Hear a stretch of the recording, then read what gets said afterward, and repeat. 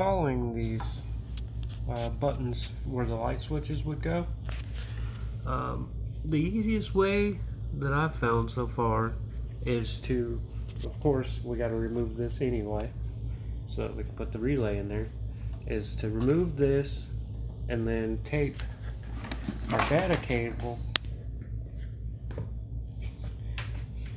We'll tape our data cable to the Romex cable, pull it up into the ceiling, and then we'll pull some of this um, Cat 5 cable, you know, enough to where there's still some in, in the attic, and then pull it back down. That way I don't have to worry about trying to find, fish it down and trying to find it. And uh, the easiest way would be to fish this down, have a camera, find it, pull it out, be good to go. But since we can't do that in this situation, we're gonna tape this to the Romex, pull it up, put a slack of the Cat 5 in the attic, pull it back down, make sure we leave enough slack so that we, we don't have to do it again, of course. Um, and we'll have our Cat 5 cable ran. Okay, so I've got my Cat 5 taped to the coax. And always, always, always, always make sure that the power is off. Um, use a test light. Well, you know, do whatever it takes to make sure you're not going to electrocute yourself. Always use caution when you're piddling with, you know, 120 volts or whatever. Yeah, it doesn't feel good if you touch it. And it could be dangerous. So, yeah, use caution. Know what you're doing. Um, anyway, we're going to go ahead and go up in the attic and pull it in. And it looks like it's pulled back to where I should not have anything to stop it. And we should be good. So let's pull her on up. So now we want to work back in the attic which yours might be in a crawl space. Mine's in the attic. We'll work back here and find where it's located to pull it up and get our cat 5 up here in the attic dusty should always wear a dust mask because look at that. That's a lot of dust. But anyway, I've located the cape, the uh, Romex that goes down to the bedroom. And now I just want to pull it up until I see the Cat 5. And look at that, Cat 5 cable. So now I want to undo my tape, pull up a bunch of the Cat 5 cable, tape the Romex back to the Cat 5 cable and pull it back down into the bedroom. So let's go ahead and do that. Alright, so I pulled out a good bit. Probably way more than I needed to, but better safe than sorry. There's the end of it. Uh, plenty of Cat 5 cable up here, as you can see. So hopefully, it might even be enough to make it to where I need to go. But that should be plenty. So now we, with it taped back to the Romex cable, we fish it back down in there. Go ahead and get it started. We don't want to push it too far down though, because if we push it too far down, then I'm not going to be able. To, it's going to get the Cat 5 is going to get bound up above the box or below the box or something. Who knows? And we won't be able to uh, fish it back in. And of course, come back in and put your insulation back. Which might need to be replaced soon. Pull it till this is pretty tight and sticking out, of course, in the box.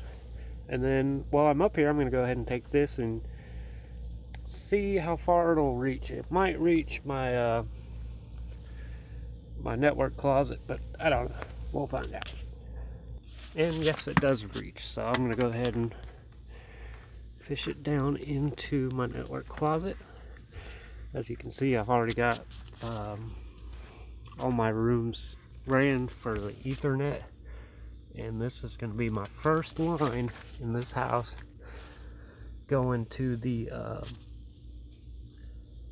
switches for my home automation system. So it's pretty exciting. And it looks like I even have enough to where I can probably hook it down there. Come back through make sure I don't have any kinks yeah no I've got a lot of mess up here, but hey, it's coming along. Okay, so now I just want to pull this easily. Should start seeing it's a little tangled up in there, so come on. I put a little too much electrical tape. Yep, there we go. Want to pull too hard. Come on. Come on.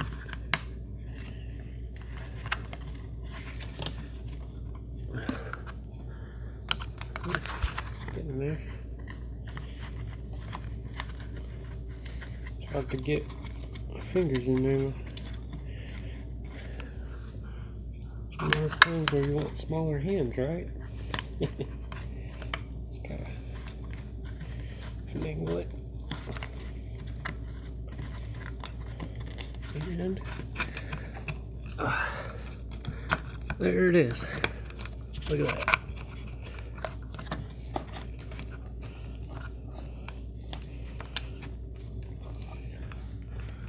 That's about where it was.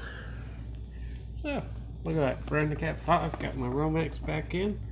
I'll unwrap all that tape and go in my closet, make sure the Cat 5 is the correct length, cut it, splice it, and move on to the next step.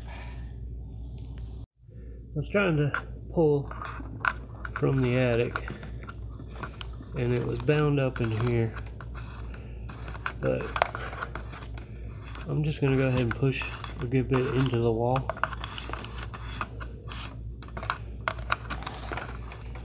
way I have enough slack. Now you never want to like when you're in the attic if you can't get it it's better just come down and do this. Because if you try to yank on it or something you're gonna end up tearing up the wire. So once you feel like you've got plenty enough uh, cable then you can go ahead and let's see I might not have to there we go just don't want to have to pull too hard that should be plenty it's touching the floor okay so now the fun part is over. now the easier part. I don't have to go in the attic anymore. So I'll put a Cat 5 or an RJ45 cable or end on this cable. and then come back in here. I'm to cut this wire and splice it. Eventually I'll make a um, RJ45 converter PCB thingy.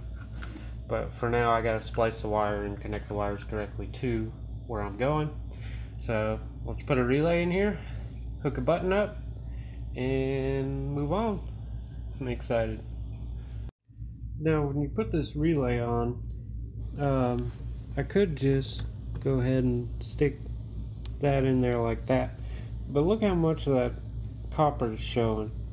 So you want to go ahead and uh, trim that to where it just fits into where you don't see any copper. So let's see. May not have loosened it enough. I'll have to loosen it a little bit more. But you want to make sure that hardly any copper is showing. Um, that way none of the other wires, because you're going to have these wires nearby and you don't want them touching that and shorting out. So I've shortened them so it's just barely showing, which if you look at the relay, you can see about how deep it is now. It doesn't go all the way to the back, obviously, but it probably goes about to that line. Yeah, there's a line on both sides. So you want it just see how far that goes in, which it doesn't go in very far.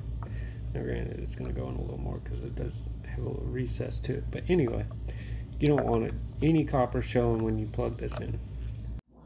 Now, unfortunately, with this relay, um, these terminals here will not fit on the Romex on my house, which I believe is a 12 gauge, and I want to say these are probably up to a 14 gauge. So unfortunately, I had to swap this terminal out for one that would work with my Romex cables. Because um, when I tried these, I had to open them up with a screwdriver, and then once I got them in there, I couldn't get them to tighten down, and it'd fall out, and you know, it just big hazard.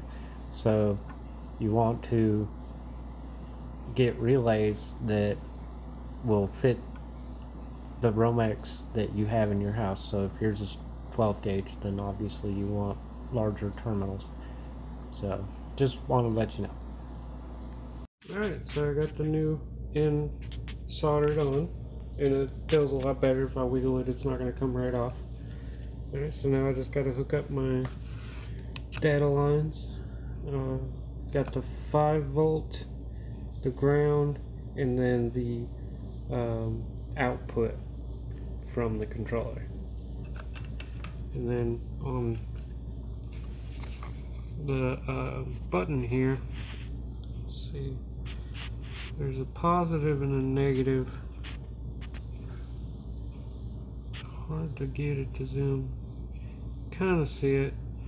Positive up here, negative on the bottom. Negative being ground, positive being uh, 5 volt.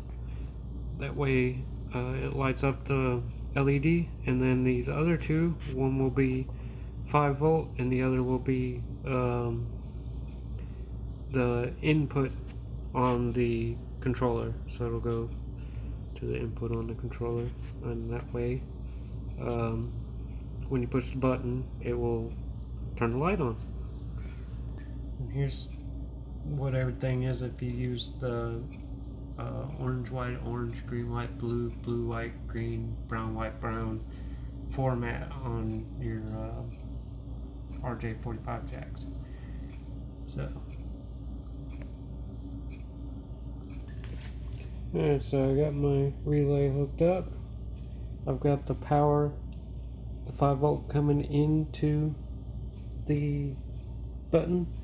So since it needs a 5 volt uh, for the signal to send back to the Arduino, I went ahead and just jumped off that same 5 volt with the uh, resistor to the positive on the LED because this 5 volts always going to have power. So that way I don't have to run a bunch of wires to it. And that makes it a little easier looks a little tacky but you know I'll improve it in time.